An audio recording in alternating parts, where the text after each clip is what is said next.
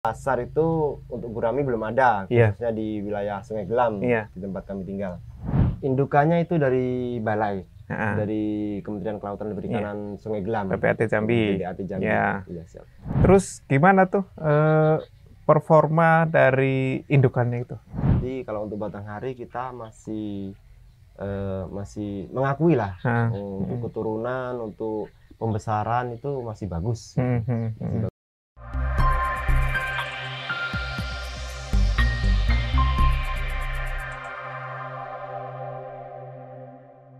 Baik, Assalamualaikum warahmatullahi wabarakatuh Sobat Botia TV, ketemu lagi kita bersama dengan salah satu sosok inspiratif nih sahabat saya nih, Mas Anton ya. Jadi kita collab Mas ya. Iya, siap, siap. Iya, beliau juga eh, seorang YouTuber juga, walaupun ngakunya udah lama vakum gitu kan.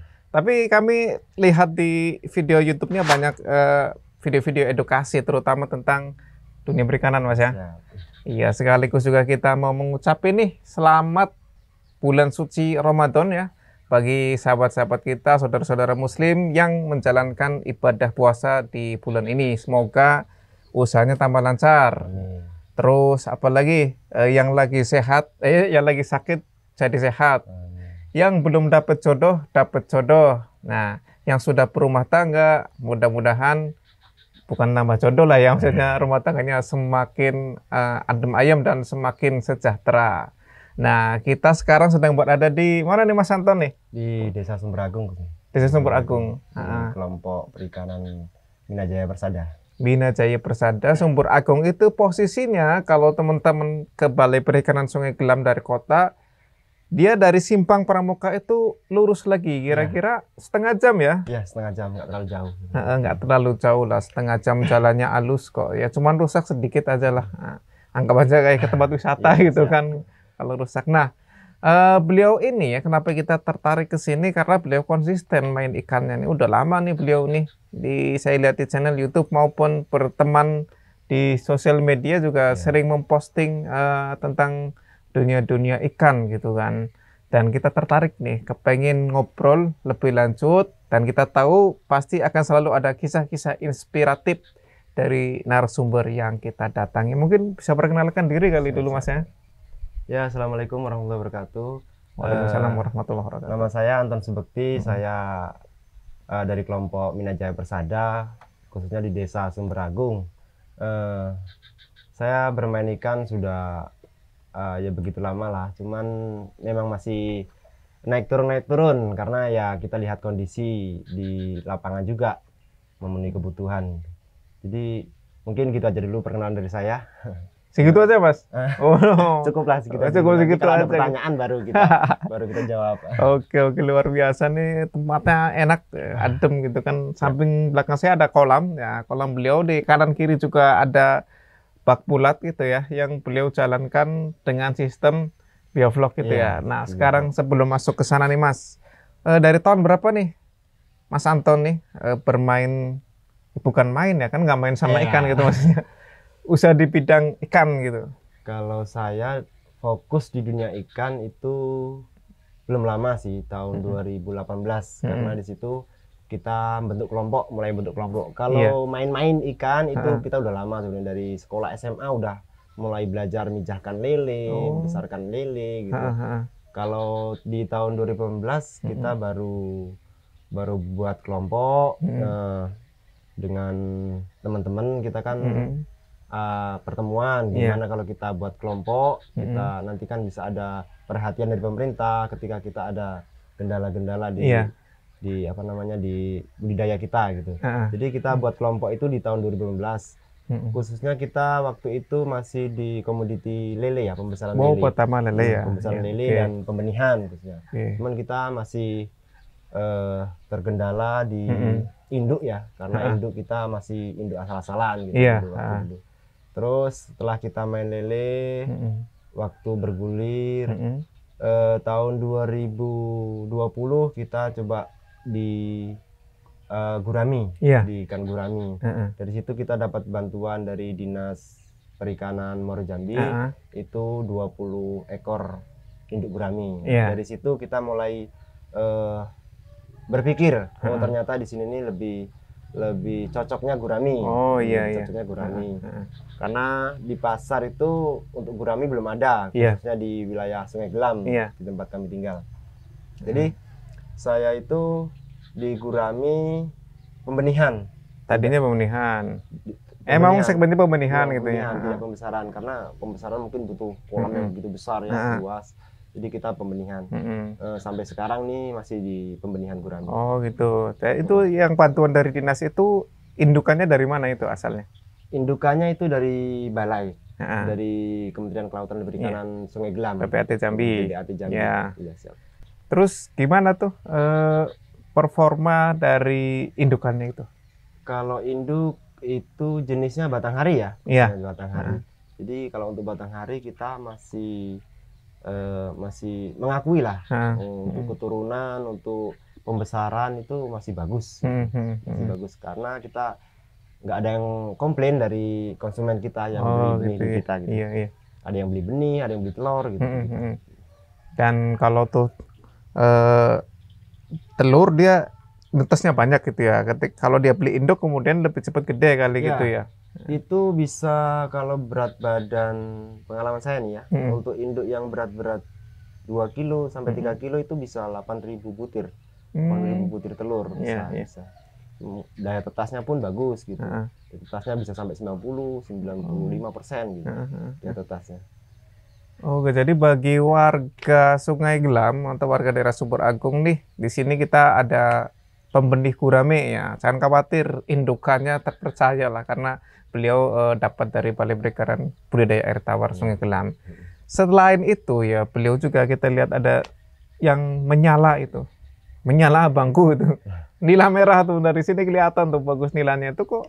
Selain main gurame juga Bang Mas Anton juga main ikan nila juga ya itu udah lama atau baru-baru ini tuh Mas? Ya kita sudah berjalan dua siklus ya, dua Hmm. siklus pembesaran kita ada di pembesaran konvensional ini kita di keramba, Mm-mm. di kolam, terus ada yang pembesaran melalui bioflok gitu. Oh, Jadi kita udah berjalan dua siklus. Mm-mm. Kenapa kita eh, budaya nila juga? Karena di sini ada yang tanya, tanya, Iya. tanya gitu Ha-ha. untuk pembesaran, untuk konsumsi Mm-mm. terutama kan. Ada yang tanya-tanya, jadi kita coba untuk memenuhi pasar sini aja dulu gitu. Ha-ha. Untuk pembesaran ikan nila. Jadi kita Iya. coba budidaya ikan nila, Mm-mm. berjalan dua siklus Mm-mm. dan alhamdulillah masih ketemu harga, masih Ha-ha. masuk iya, sama kantong kita gitu. iya, iya. Masih masuk, Ha-ha. alhamdulillah. Itulah yang diharapkan gitu kan. Nah, dari eh, main ikan kemudian juga untuk pemasukan juga aman gitu kan. Iya. Walaupun sebenarnya saya lihat nih kalau untuk nila padahal Mas Anton belum lama gitu ya, baru baru tapi eh, tidak banyak kendala gitu ya lihatnya. Terus beliau juga nilanya itu bukan nila sembarangan, maksudnya pakai bioflok gitu. No, di masyarakat kadang-kadang masih dibilang ini mas, ah, oh bioflok ini banyak kendala, bioflok ini susah. Saya nggak punya alat dan sebagainya. Tapi Mas Anton juga perasaan alatnya juga nggak canggih-canggih amat ya. Iya, iya. Gimana itu mas mensiasati itu? Karena bioflok nih kalau menurut saya tuh pakai sistem alami dan Mm-mm. teknologi gitu ya. Mm-mm. Untuk sistem alami kita kan memanfaatkan bakteri tuh. Iya benar. Kalau untuk bakteri kita sudah banyak apa ya belajar dari pembesaran ikan lele dulu, Iya. heeh. belajar dari apa budidaya cacing, Mm-mm. sutra kan. Mm-mm. Kita dari situ kita memahami eh, alam. Mm-mm. Jadi kita pakai probiotik ya. Iya. Kayak probiotik itu kita sudah pakai lama sebenarnya untuk probiotik. heeh. Untuk probiotik yang kita fermentasi di pakan itu. Mm-mm. Kalau di airnya kan beda lagi ada tuh. sendiri. Tapi tetap probiotiknya sama Heeh, gitu. heeh. Cuman beda pengaplikasiannya Iya, aja. heeh. Terus kayak kendalanya kan, waduh, kan suhu harus dicek lah, pH harus dicek itu sampean gimana tuh cara eh, menyiasati dengan alat-alat yang mungkin sampean nggak pakai jangan-jangan Iya. ya? Saya memang nggak pakai ya. Iya. Cuman feeling aja. Oh, feeling gitu ya. Melihat Heeh. apa gerak-gerik ikan, Hmm. melihat nafsu ikan makan, Heeh, melihat situasi kondisi eh, air, airnya di, di kolam Oh, itu kan kita bisa heeh. lihat. Mm. Mungkin kalau untuk yang baru-baru pertama mungkin Mm-mm. agak susah sih karena kita Mm-mm. nggak pakai alat untuk Iya. mengukur DO, Mm-mm. sama Mm-mm. segala macam kan. Jadi agak susah. Cuman mungkin di satu siklus itu tetap ada kendala, tetap ada kendala. Nah dari situ kita bisa belajar dari situ. Iya berarti sampean ini sektenya sekte aliran ilmu titen. Nah, iya. Enggak juga. Memperhatikan Heeh. titen kan Iya. memperhatikan gitu kan. Jadi ya pengalaman lah tetap Iya. belajar dari pengalaman yang lebih utama itu. Iya, luar biasa pengalamannya gitu ya. Ya tentu namanya pengalaman kan bersifat sangat pribadi gitu ya kadang. Ya Di- kita ap- tetap sama-sama belajar kan gitu. Saya pun iya. masih tetap belajar gimana supaya menekan FCR, gimana supaya hasilnya lebih maksimal, kem- tingkat kematiannya kurang, tetap kita tetap belajar Ah, sampai saat ini tuh. Nah, luar biasa. Jadi selain nilainya itu tadi eh, untuk pembesaran sama kemarin kayaknya ngambil indukan juga kan di balai ya. Eh, untuk Filmnya. indukan nih lah, Nah inilah ya. iya saya ngambil indukan juga di apa di balai nih lah. Heeh. Saya coba untuk apa namanya eh, terbiasa dengan air sini. gitu. Iya. Oh. Jadi kalau kita ambil indukan di balai nanti kan eh, untuk apa namanya? Untuk benihnya kan nggak terlalu Hmm. kaget atau Iya. gimana dengan kadar air yang berbeda dari balai ke sini. Biasanya tuh kan tingkat kematiannya sampai 10% gitu. Tingkat kematian 10% kalau kita ngambil ambil dari luar. dari luar Iya. gitu. Jadi kalau kita indukan di sini, insya Allah sudah terkondisi dengan air Ha-ha. sini, sudah terbiasa gitu. Iya. Jadi kemungkinan besar Mm-mm. untuk indukannya sih belum belum mana sih belum Belum apa memijah. belum belum dipijakan. Nah, ya baru dikit sih sebenarnya itu Iya. ada baru dikit Heeh. belum belum belum apa namanya namanya calin kan iya, Calon induk. Berarti belum di, dipijakan Belum. gitu ya.